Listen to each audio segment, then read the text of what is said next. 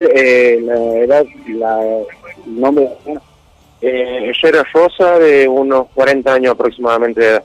es el, ¿cuántas intervenciones están eh, llevando a cabo durante la mañana?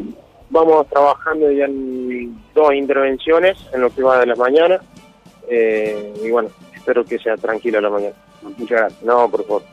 Bueno, Franco, hasta ahí la palabra de Bomberos Silva, perteneciente a Bomberos eh, Ciudad de La Rioja, informándonos sobre el trabajo que llevaron a cabo, a cabo ellos en este accidente de tránsito.